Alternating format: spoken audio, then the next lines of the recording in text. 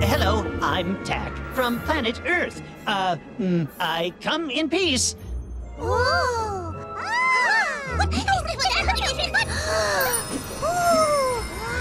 Uh, are you an interpreter? I hope you don't mind me eating your words. That's how I learn new languages. Not at all. Help yourself.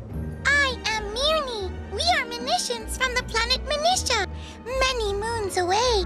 Are you here to rescue us? So that was your distress beacon I saw. Yes.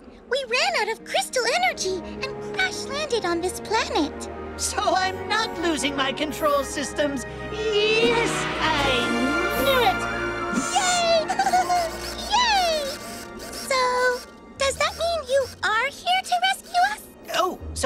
Yes, we have plenty of energy crystals back on our ship.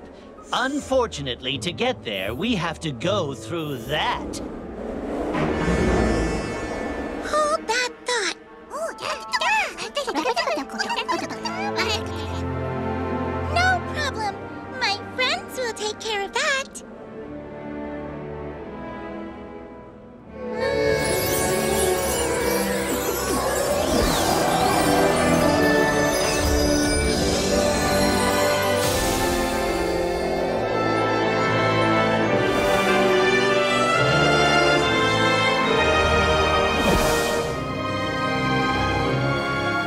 There's my ship, I hope.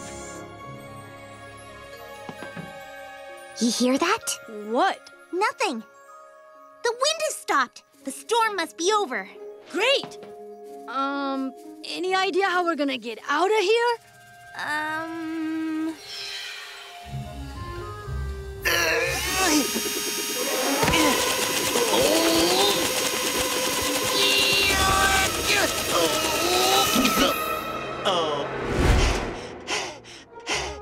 This is not going so well.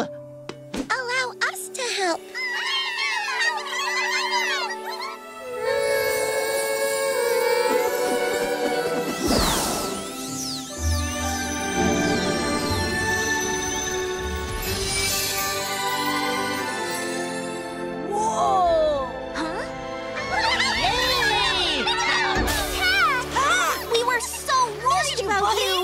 Callie, Ravi, allow me to introduce Mirni and her Minitian friends.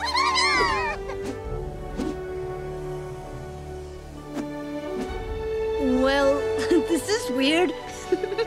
and kind of relaxing. They were the ones sending the distress signal I spotted. Uh, sorry, buddy. I should have trusted you. Me too. It's okay. I was doubting myself too, until I met Mirni. Hi, Mirni. How can you make the sand move like that? We have always been able to move things. We created this storm to keep us safe. Safe from what? Safe